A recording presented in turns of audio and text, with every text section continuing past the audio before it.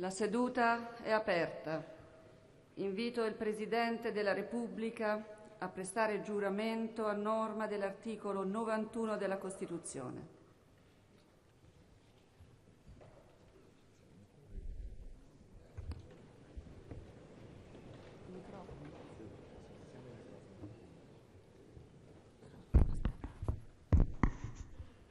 Giuro di essere fedele alla Repubblica e di osservarne lealmente la Costituzione.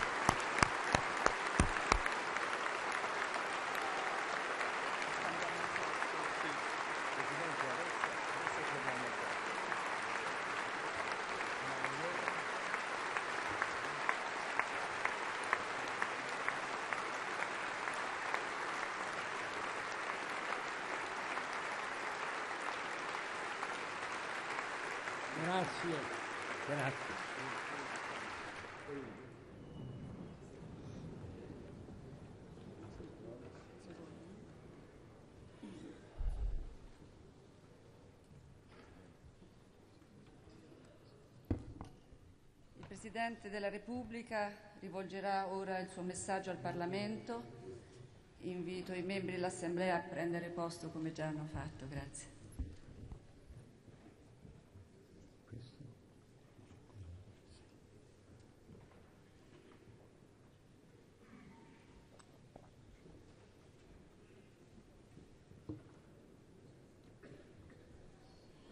Signora Presidente, onorevoli deputati, onorevoli senatori, signori delegati delle regioni, lasciatemi innanzitutto esprimere, insieme con un omaggio che in me viene da molto lontano alle istituzioni che voi rappresentate, la gratitudine che vi debbo per avermi con così largo suffragio eletto Presidente della Repubblica.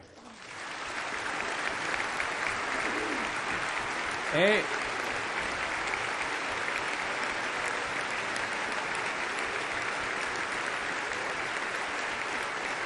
è un segno è un segno di rinnovata fiducia che raccolgo comprendendone il senso anche se sottopone a seria prova le mie forze. E apprezzo in modo particolare che mi sia venuto da tanti e tanti nuovi eletti in Parlamento che appartengono a una generazione così distante e non solo anagraficamente dalla mia.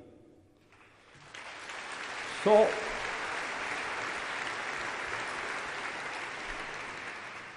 So che in tutto ciò si è riflesso qualcosa che mi tocca ancora più profondamente, e cioè la fiducia e l'affetto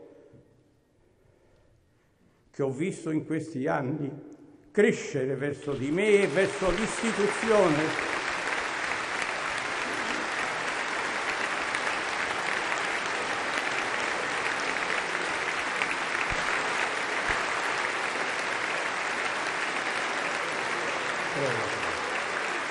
E verso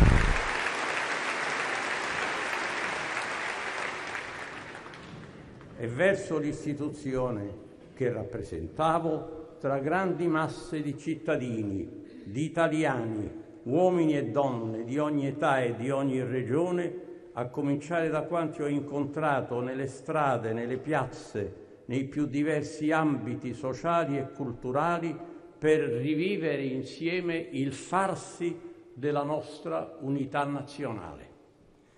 Come voi tutti sapete, non prevedevo di tornare in quest'Aula per pronunciare un nuovo giuramento e messaggio da Presidente della Repubblica. Avevo già nello scorso dicembre pubblicamente dichiarato di condividere l'autorevole convinzione che la non rielezione al termine del settennato è l'alternativa che meglio si conforma al nostro modello costituzionale di Presidente della Repubblica. Avevo ugualmente messo l'accento sull'esigenza di dare un segno di normalità e continuità istituzionale con una naturale successione nell'incarico di capo dello Stato.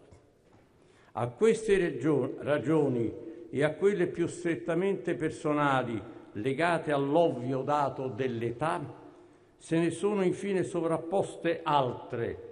Rappresentatemi dopo l'esito nullo di cinque votazioni in quest'Aula di Montecitorio, in un clima sempre più teso, dagli esponenti di un ampio arco di forze parlamentari e dalla quasi totalità dei presidenti delle regioni.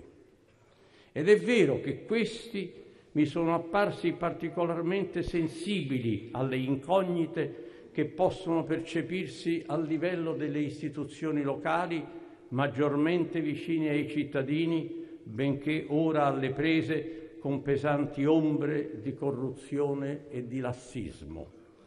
Istituzioni che ascolto e rispetto, signori delegati delle regioni, in quanto portatrici di una visione non accentratrice dello Stato, già presente nel Risorgimento e da perseguire finalmente con serietà e coerenza. È emerso da tali incontri nella mattinata di sabato un drammatico allarme per il rischio ormai incombente di un avvitarsi del Parlamento in seduta comune nell'inconcludenza, nella impotenza ad adempiere il supremo compito costituzionale dell'elezione del Capo dello Stato. Di qui l'appello che ho ritenuto di non poter declinare, per quanto potesse costarmi l'accoglierlo, mosso da un senso antico e radicato di identificazione con le sorti del Paese.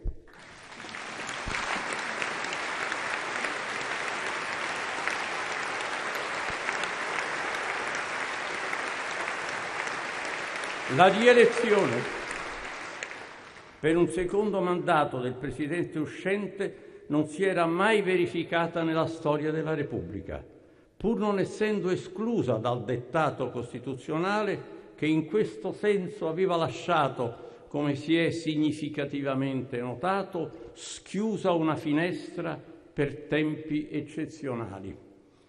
Ci siamo dunque ritrovati insieme in una scelta pienamente legittima ma eccezionale, perché senza precedenti è apparso il rischio che ho appena richiamato senza precedenti e tanto più grave nella condizione di acuta difficoltà e perfino di emergenza che l'Italia sta vivendo in un contesto europeo e internazionale assai critico e per noi sempre più stringente. Bisognava dunque offrire al Paese e al mondo una testimonianza di consapevolezza e di coesione nazionale di vitalità istituzionale, di volontà di dare risposte ai nostri problemi, passando di qui una ritrovata fiducia in noi stessi e una rinnovata apertura di fiducia internazionale verso l'Italia. È a questa prova che non mi sono sottratto, ma sapendo che quanto è accaduto qui nei giorni scorsi ha rappresentato il punto di arrivo di una lunga serie di omissioni e di guasti, di chiusure e di irresponsabilità. Ne propongo una rapida sintesi, una sommaria rassegna. Negli ultimi anni, a esigenze fondate e domande pressanti di riforma delle istituzioni e di rinnovamento della politica e dei partiti che si sono intrecciate con un'acuta crisi finanziaria, con una pesante recessione, con un crescente malessere sociale, non si sono date soluzioni soddisfacenti. Hanno finito per prevalere contrapposizioni, lentezze, esitazioni circa le scelte da compiere, calcoli di convenienza, tatticismi e strumentalismi. Ecco che cosa ha condannato alla sterilità o ad esiti minimalistici i confronti tra le forze politiche e i dibattiti in Parlamento. Quel tanto, quel tanto di correttivo quel tanto di correttivo e innovativo che si riusciva a fare nel senso della riduzione dei costi della politica, della trasparenza e della moralità nella vita pubblica, è stato dunque facilmente ignorato o svalutato e l'insoddisfazione e la protesta verso la politica, i partiti, il Parlamento sono state con facilità, ma anche con molta leggerezza, alimentate e ingigantite da campagne di opinione demolitorie, da rappresentazioni da, da rappresentazioni unilaterali e indiscriminate in senso distruttivo del mondo dei politici, delle organizzazioni e delle istituzioni in cui essi si muovono. Attenzione, il vostro applauso, quest'ultimo richiamo che ho sentito di dover esprimere, non induca ad alcuna autoindulgenza. Non dico solo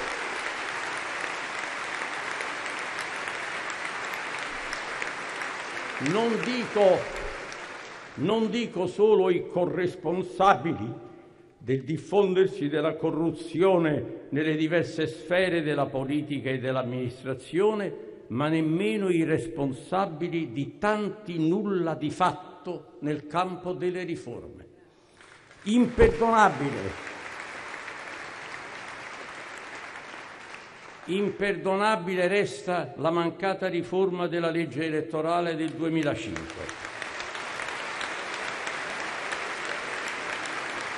Ancora,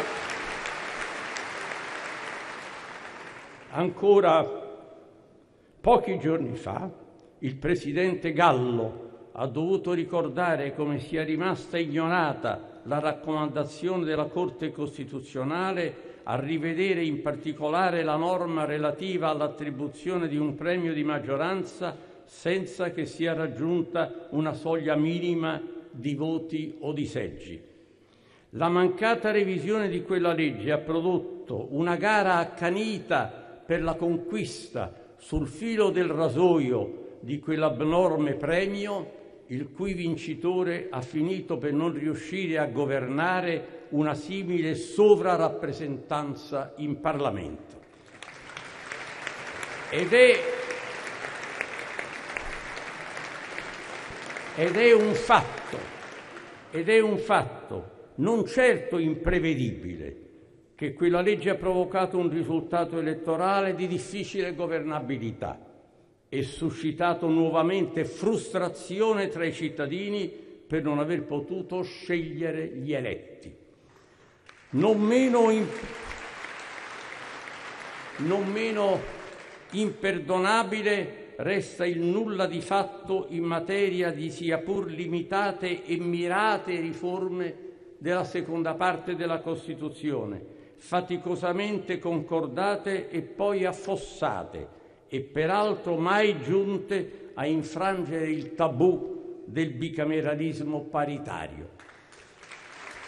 Molto, molto si potrebbe aggiungere, ma mi fermo qui perché su quei temi specifici ho speso tutti i possibili sforzi di persuasione vanificati dalla sordità di forze politiche che pure mi hanno ora chiamato ad assumere un ulteriore carico di responsabilità per far uscire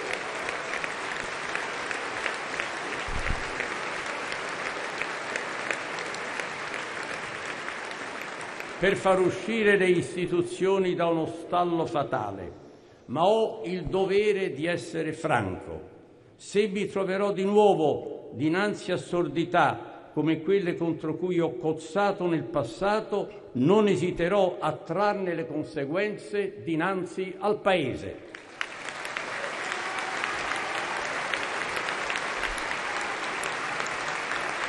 Non si può più.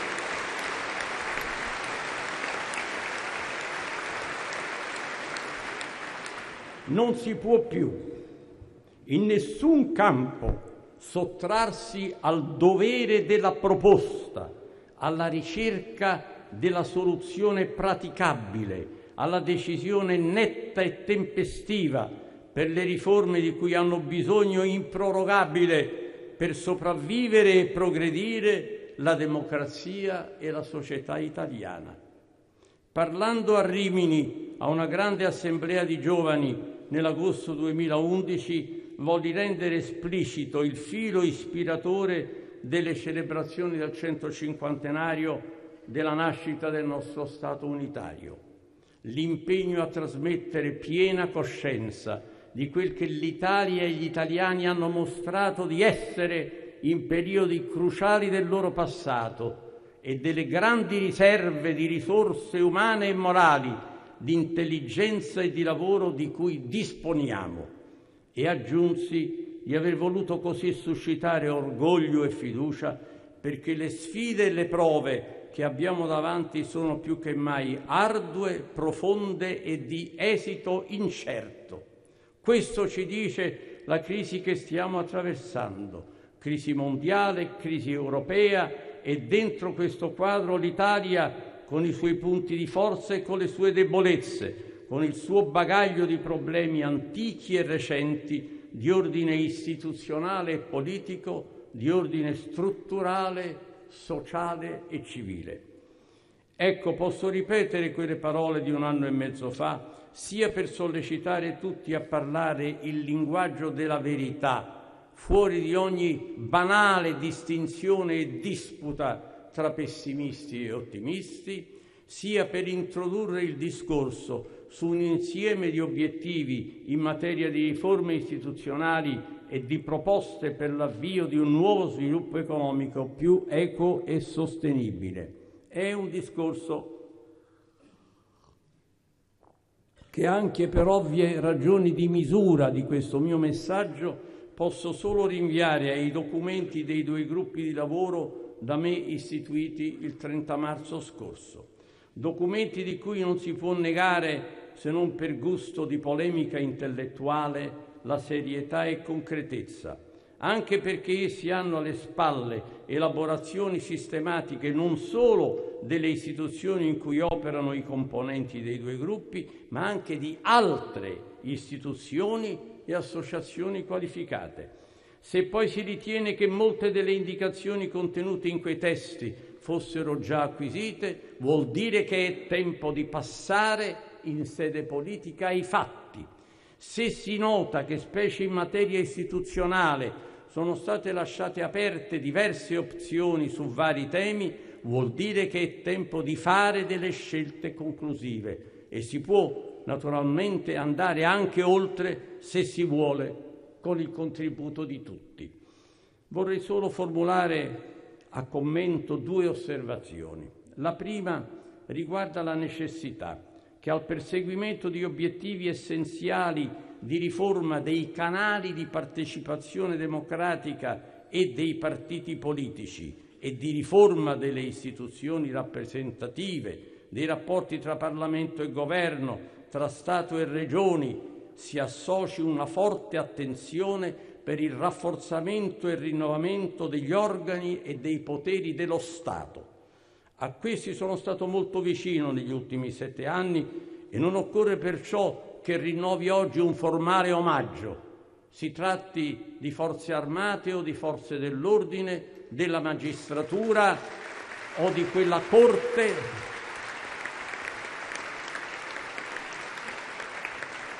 o di quella Corte che è suprema garanzia di costituzionalità delle leggi.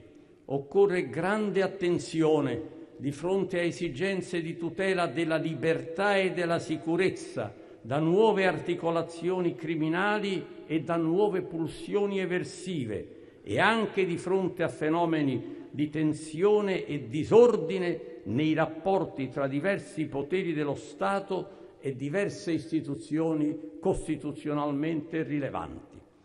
Né si trascuri di reagire a disinformazioni e polemiche che colpiscono lo strumento militare, giustamente avviato a una seria riforma, ma sempre posto nello spirito della Costituzione a presidio della partecipazione italiana, anche col generoso sacrificio di non pochi nostri ragazzi, alle missioni di stabilizzazione e di pace della comunità internazionale.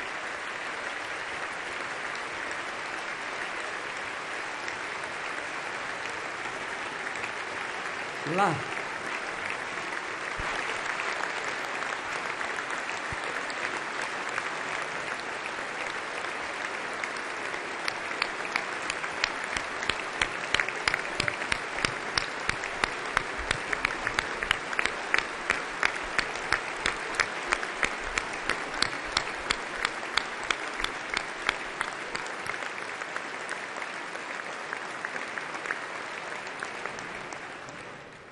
La seconda osservazione riguarda il valore delle proposte ampiamente sviluppate nel documento da me citato per affrontare la recessione e cogliere le opportunità che ci si presentano, per influire sulle prossime opzioni dell'Unione Europea, per creare e sostenere il lavoro, per potenziare l'istruzione e il capitale umano, per favorire la ricerca, l'innovazione e la crescita delle imprese.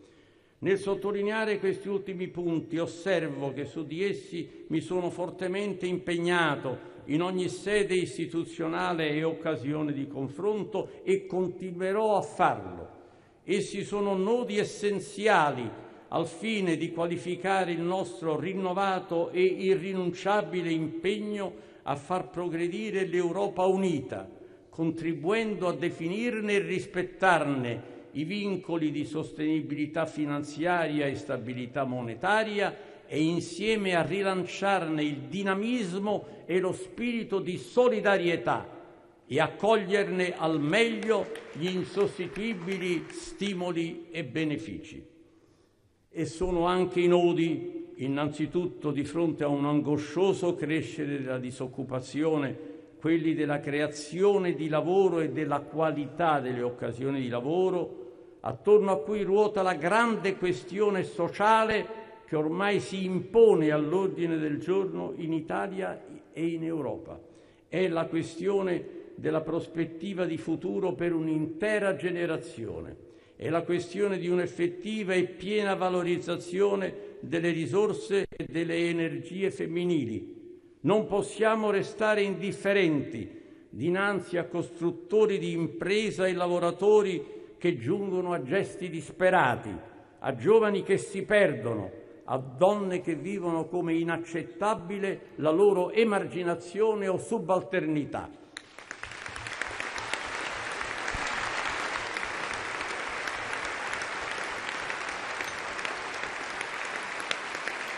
Volere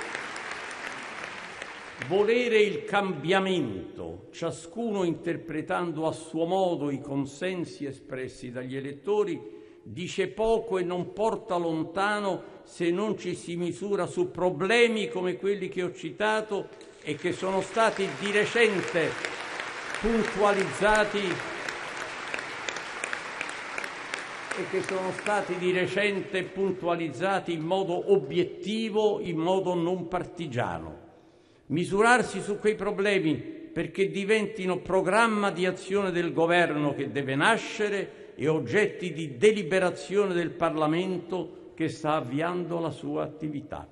E perché diventino fulcro di nuovi comportamenti collettivi da parte di forze, in primo luogo nel mondo del lavoro e dell'impresa, che appaiono bloccate, è scritto nel documento del gruppo di lavoro, impaurite, arroccate in difesa e a disagio di fronte all'innovazione che è invece il motore dello sviluppo.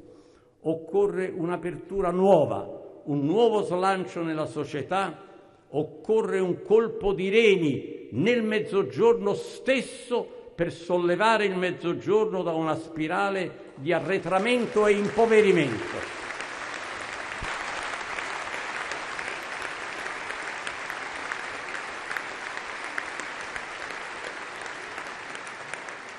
Il Parlamento ha di recente deliberato addirittura all'unanimità il suo contributo su provvedimenti urgenti che al governo Monti ancora in carica toccava adottare e che esso ha adottato nel solco di uno sforzo di politica economico-finanziaria ed europea che meriterà certamente un giudizio più equanime quanto più ci si, allontane, si allontanerà il clima dello scontro elettorale e si trarrà il bilancio del ruolo acquisito nel corso del 2012 in seno all'Unione Europea.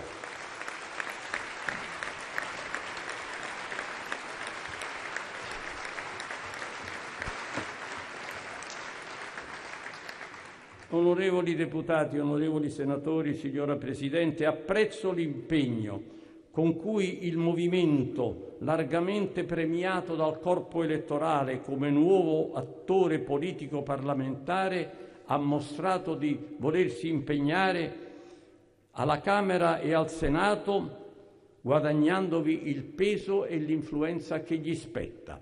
Quella è la strada di una feconda, anche se aspra, dialettica democratica e non quella avventurosa e deviante della contrapposizione tra piazza e Parlamento. Non può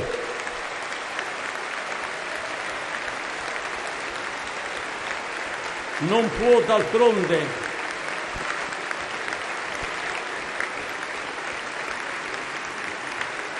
non non può d'altronde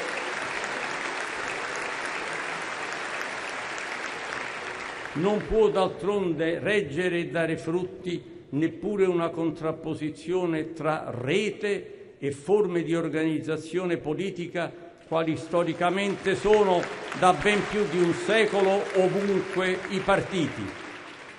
La rete fornisce accessi preziosi alla politica inedite possibilità individuali di espressione e di intervento politico e anche stimoli all'aggregazione e manifestazione di consensi e di dissensi. Ma non c'è partecipazione realmente democratica, rappresentativa ed efficace alla formazione delle decisioni politiche, delle decisioni pubbliche senza il tramite di partiti capaci di rinnovarsi e di movimenti o, o di movimenti o di, o di movimenti politici organizzati tutti comunque da vincolare all'imperativo costituzionale del metodo democratico. Le forze rappresentate in Parlamento, le forze rappresentate in Parlamento, senza alcuna eccezione, debbono comunque dare ora, nella fase cruciale che l'Italia e l'Europa attraversano, il loro apporto alle decisioni da prendere per il rinnovamento del Paese senza temere di convergere su delle soluzioni, dal momento che di recente nelle due Camere non si è temuto di votare all'unanimità. Sentendo voi tutti, onorevoli deputati e senatori, di far parte dell'istituzione parlamentare non come esponenti di una fazione, ma come depositari della volontà popolare. C'è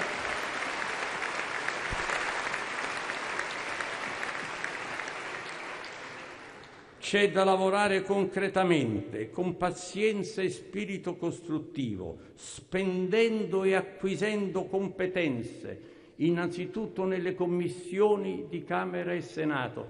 Permettete che ve lo dica uno che entrò qui da deputato all'età di 28 anni e portò giorno per giorno la, la sua pietra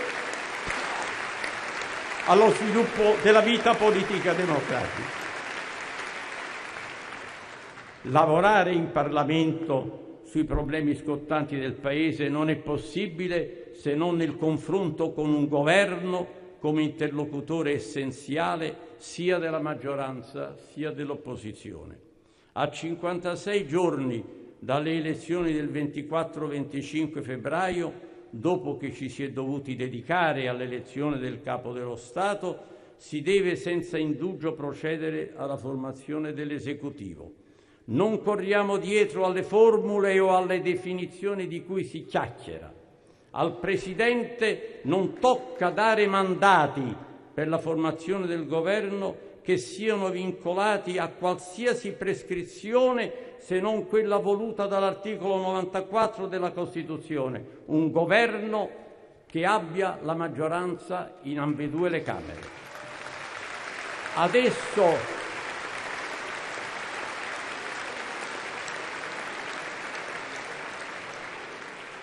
Adesso spetta darsi un programma secondo le priorità e la prospettiva temporale che riterrà opportune. E la condizione è dunque una sola, fare i conti con la realtà delle forze in campo nel Parlamento da poco eletto, sapendo quali prove aspettino il governo e quali siano le esigenze e l'interesse generale del Paese. Sulla base dei risultati elettorali, di cui non si può non prendere atto, piacciano o pur no, non c'è partito o coalizione omogenea o presunta tale che abbia chiesto voti per governare e ne abbia avuti a sufficienza per poterlo fare con le sole sue forze. Qualunque prospettiva si sia presentata agli elettori o qualunque patto se si preferisce questa espressione, si sia stretto con i propri elettori, non si possono non fare i conti con i risultati complessivi delle elezioni. Essi indicano tassativamente la necessità di intese tra forze diverse per far nascere e per far vivere un governo oggi in Italia, non trascurando su un altro piano l'esigenza di intese più ampie e cioè anche tra maggioranza e opposizione, per dare soluzioni condivise a problemi di comune responsabilità istituzionale. D'altronde, non c'è oggi in Europa nessun paese di consolidata tradizione democratica governato da un solo partito, nemmeno più il Regno Unito operando dovunque governi formati o almeno sostenuti da più partiti, tra loro affini o abitualmente distanti e perfino aspramente concorrenti. Il fatto che in Italia si sia diffusa una sorta di orrore per ogni ipotesi di intese, alleanze, mediazioni, convergenze tra forze politiche diverse è segno di una regressione di un diffondersi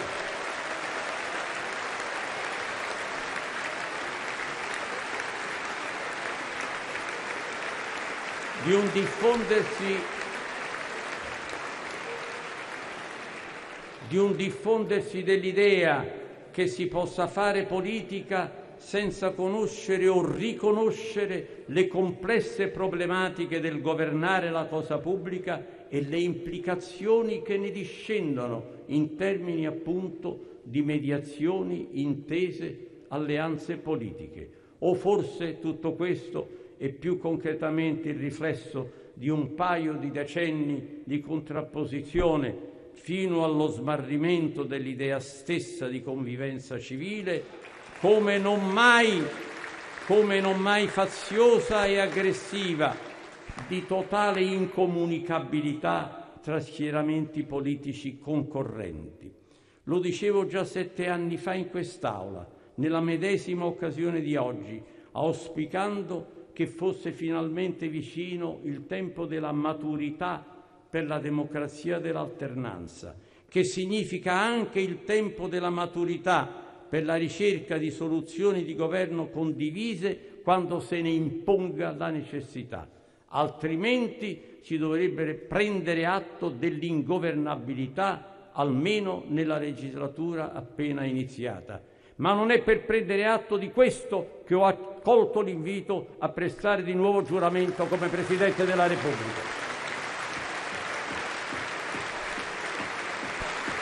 L'ho accolto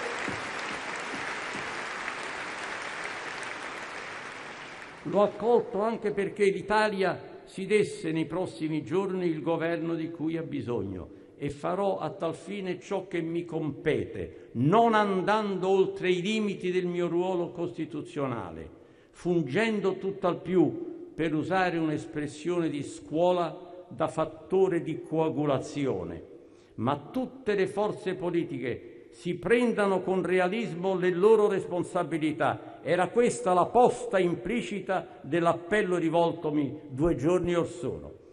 Mi accingo signora Presidente, al mio secondo mandato, senza illusioni e tantomeno pretese di amplificazione salvifica delle mie funzioni. Esercit- eserciterò piuttosto con accresciuto senso del limite, oltre che con immutata imparzialità, quelle che la Costituzione mi attribuisce. E lo farò fino a quando la situazione del Paese e delle istituzioni me lo suggerirà e comunque le forze me lo consentiranno. Inizia oggi per me, inizia oggi per me questo non previsto ulteriore impegno pubblico in una fase di vita già molto avanzata. Inizia per voi un lungo cammino da percorrere con passione, con rigore, con umiltà. Non vi mancherà il mio incitamento e il mio augurio. Viva il Parlamento, viva la Repubblica, viva l'Italia.